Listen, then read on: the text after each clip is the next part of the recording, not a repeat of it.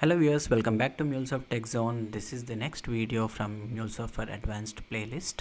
So these videos are specifically for those who wants to excel their skills in MuleSoft in an advanced level and also helps you to crack the MCD level 2 certification and helps you to clear concepts for any kind of interviews that you are going to attend so this particular session is all about some uh, things that I wanted to discuss about RAML, the API specification when you're creating. And I want you guys to understand how HTTP status code works okay? Sometimes we make very silly mistakes. We know that you know um, it, it seems like the question was simple but there is something which we need to understand how it works in the back end okay?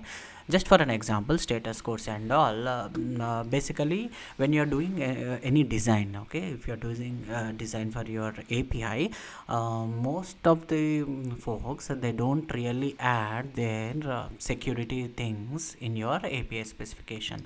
They just directly go ahead in the api after deploying your application they do directly and apply client id and secret. Even that can validate even without hitting the api but what if you are trying to define as a best practice if you are trying to define those uh, you know for example your api you are trying to apply client enforcement client id enforcement policy which has client id and secret. So for that purpose what i'm trying to do is i am creating a trait which the reason why i'm creating trait is to uh, you know reuse with multiple endpoints okay? And there i am asking to pass client id and client underscore id and client underscore secret as a part of headers. Because i know that when i am applying the policy in api manager the client id and client id and secret i am asking there to pass as headers. So i am doing the same thing. I am asking them to pass as headers. And I am incorporating this trait using the is keyword here and with using the same name. Whatever name is there it should be here okay which means when you go to your uh, endpoint for example you can automatically see that it is expecting client id and secret as part of headers. Now when you are passing this when you are trying to you know send the request and pass the values okay then you will see a success response. This is just an api specification so you are seeing 200 okay response. Okay? Now there might be some interview questions. They might ask you that you are passing client id and secret what if you are not passing client id and secret values? Here i'm not disabling it or i can remove it here okay? What if you pass client why what if you don't pass client id and secret values and send the request so according to our knowledge what we think is if you are not passing client id and secret values always we see either 401 or 403 depend okay? 401 is something like the uh, you know authorization error. Like if you're not passing client id and secret value then it is 401 or if you are passing some values which are not appropriate or inaccurate uh, they will say like you are forbidden to use that. So basically unauthorized or forbidden issues 401 or 403 we will see in the options and we'll just blindly keep those options there okay? But please make sure that here you are defining those details in api specification.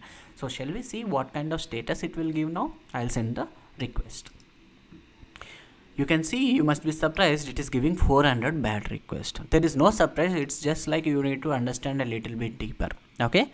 If i am not passing this you know or if i am not defining this particular client id enforcement policy over in api specification I would have got either 401 or 403 directly when the consumer is sending the request because API manager policy is applied there and automatically those values you know it is validating at API manager level. It is not even like hitting the our own API but it is failing at the uh, policy itself. That is fine. But here in the API the RAML specification we are defining them to pass client ID and secret under headers remember guys header is also part of a request okay? It can so i i already explained you in the before videos like you know request can be passed as part of payload as part of query params as a part of uri params as part of headers. So when you are not passing any of the values either you know if it is a header or query parameter or anything it always falls under bad request. It's it doesn't fall under 401 or 403 okay? That is the implementation error okay so here as we are defining as a part of header this particular API specification doesn't know about anything about policies first things first okay? We are just mentioning about like just pass headers. You can give ABC also okay? It doesn't care okay? But we are defining something like you know headers should be with client ID and secret. So as we are not passing those values it comes under bad request and hence it is always 400 status codes and not 401 or 403 so if someone asks you a question about this or if you are facing this question in certification or interview please make sure that if they are defining any traits if they are defining any traits it's not necessary that it's uh, it has to be traits always but if they are passing it here in the you know headers uh, and if they are passing as a header this client and secret value and if you are not defining then it always comes under bad request 400 bad request.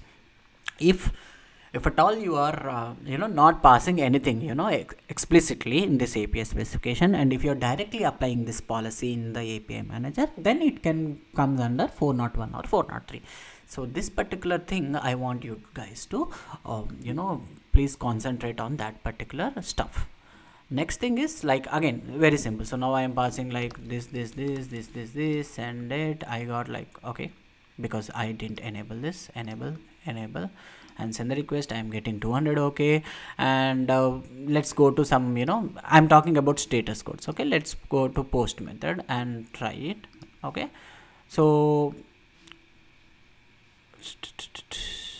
is there anybody? Okay there is no sample request but yeah it's very simple like as as simple as that. And if you're trying to modify any url like adding wrong this thing you will get like you know 404 the resource not found. So the order of the status code is always like how it is defined in the raml the indentation. So first is the resource name. Whenever so first things it looks for when you whenever you are sending any request it looks for the resource name. That is the first thing okay? That is the first thing. So if this is wrong it will give 404 next thing is if you are giving a wrong method is for post order details if you are giving the get method then it will give a wrong method okay so, so, next if you any request it will give 400 bad requests. So the indentation or you know the level of uh, status codes follows the order the pattern from like this here. Okay so this is about the status code so please, please be cautious and uh, this all things comes when you practice on your own okay? Just if you are watching this video it doesn't help.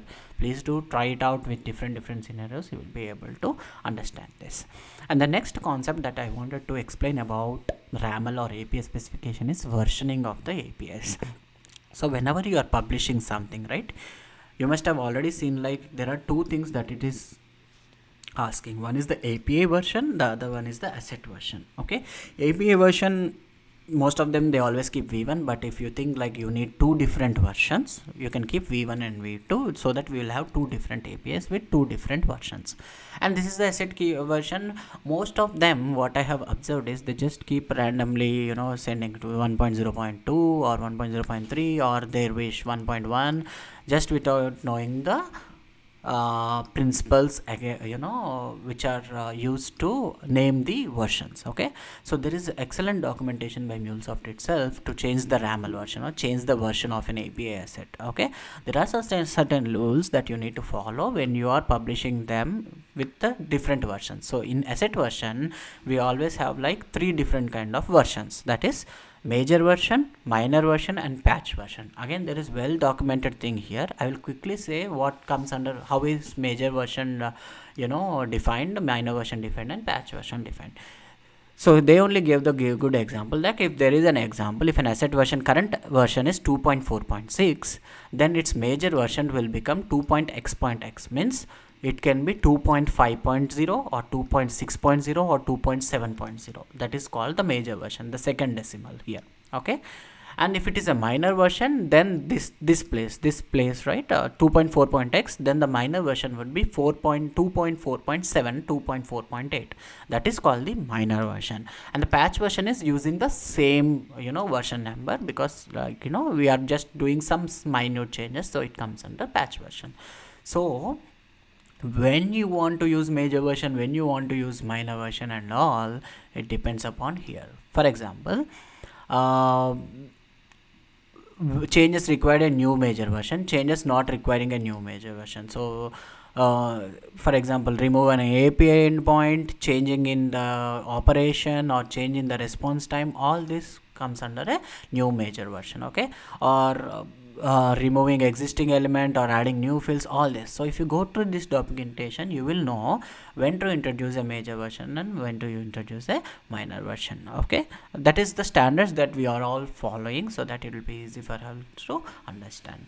And one more critical and important thing is API version in application URL there are different API versions here and suppose if there is any requirement where uh, your customer needs the same API in a two different version okay? So how to handle them? That is the important thing. So it is always best suggested okay that you always define that particular API version in your base URI part okay? How how to define a base URI here is like you can always choose like base URI something like this and you can always keep v1 v2 something like that right so you can use base URI as the this thing. So most of them what they do uh, most of them what they do is sometimes they think like they can change that particular uh, uh, uh you know API version at uh, implementation level or define the you know or defining at each level like v2 v2 v2 in every endpoint like v2 here or you know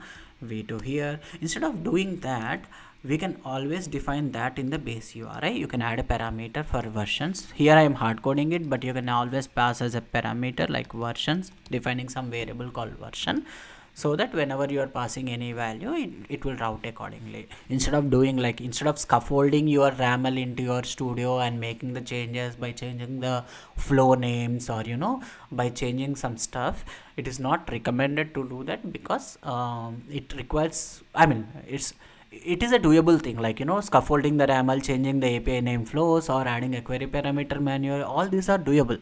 But the best thing to do is defining a parameter in your raml itself in the design center for the version so that you won't have to do kind of much again defining the version at each endpoint is a difficult task so always define at the base uri level and make use of it. So so you will see different ways of coding. The best way of coding is always this one. So you have to always choose the best option. In your certification exam also they will give you four options what is the best method to do. So all four methods are correct but but they are asking for the best way to do. So this is the best way. With less code changes you will be able to add your api versions and you know with the same uh, specification you can have multiple versions. Okay hope uh, this video help you to understand or clear some concepts. Uh, these are really important for your inter interview perspective as well as the mcd level 2 certification perspective.